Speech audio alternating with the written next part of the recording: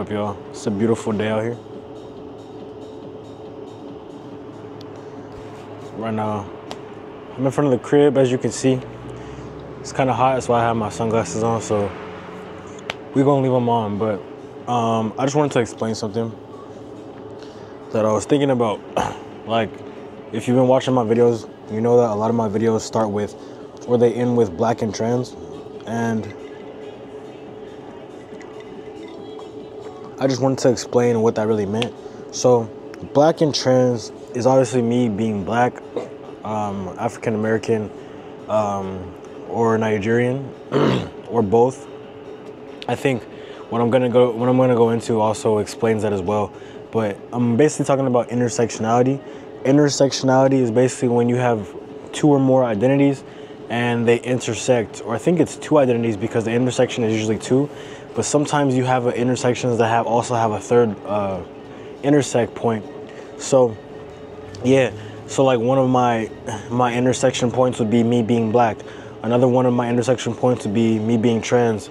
And how I look at it, another section that I could say, if we really want to get technical, would be me being Nigerian, right? Because I do see myself as an African American person. My mom is African American from Michigan, probably have roots uh, with the South, like Louisiana, things like that.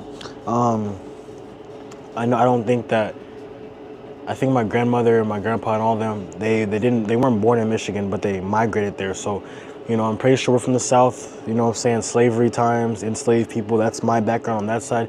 But I'm also Nigerian, and you know, sometimes I feel like I have to cut off. I have to say, oh, I'm only Nigerian, but at the end of the day, I'm African American, and that's intersectionality, right? You don't have to, you know, what I'm saying, stay with one identity. Like if you're Mexican American and you embrace both sides, you don't have to just say that you're Mexican. You can say you're Mexican American. You know what I mean? So that's why I say I'm black and trans because I feel like I'm, I'm obviously black, right? African, whatever, black falls under the term black, but I'm also trans. And what intersectionality does is basically like those two things, right? You know, that creates a different experience. I have a different experience than just a black person. I have the experience of a black and trans person. You know what I mean? Like those two things intersect and create and society, you know what I'm saying? Society treats trans people one way, society treats black people one way. So you need to Ah, uh, alarm's going off.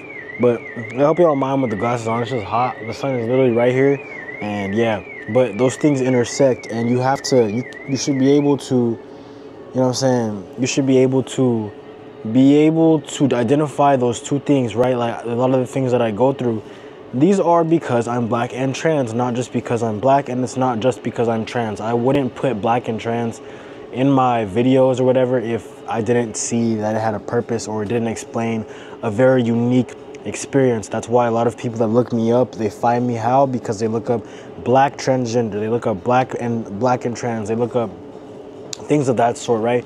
You're not just looking up videos about black people. You want to see a black and trans person, right? Um, a lot of guys like me, I've even looked at myself, right? If uh, for surgery or things of that nature, I want to see how the surgery happened for someone that is black and trans, someone that has that intersection of identities.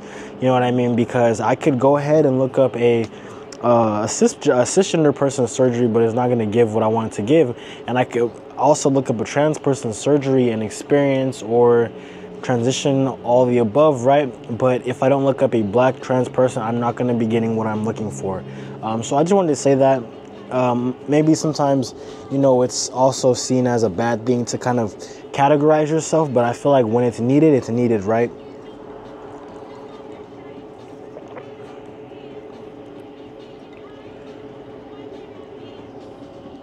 Because, you know, I think there's a big purpose of it, right?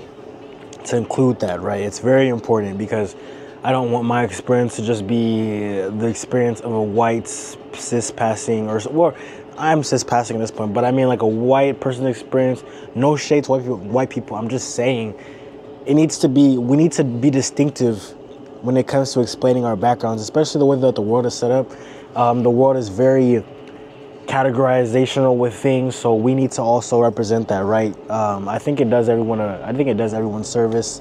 Um, you know, a lot of the tragedy that's happened with black trans women. You're not just gonna say uh, trans women being attacked. No, we need to specify it's black trans women being attacked because the experiences of a trans person that's not black is very different from an experience of someone who is black. Very different from an experience of someone who's Mexican. Very different from an experience of someone who's Asian. Obviously, people of color do have similarities in their experiences, but I even think just the umbrella term of people of color can be kind of vague and and you know it, it, just doesn't do what it could be doing right? Like if there's an issue that we need to focus on that's specifically black people black trans people let's say black trans people. If it's an issue that specifically focuses on um, asian pacific women let's say that. If you know what i mean? Like if it yeah yeah you know what i'm saying? So yeah that's my point with all this. Um, it's pretty hot out here. These sunglasses make it like bearable to be out here but i'm probably gonna head inside i just wanted to get outside for a bit get some direct sunlight and honestly just share my opinion on that. But yeah, I love y'all.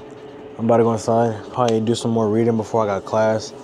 Give my dog a snack. It's hot. He over here panting.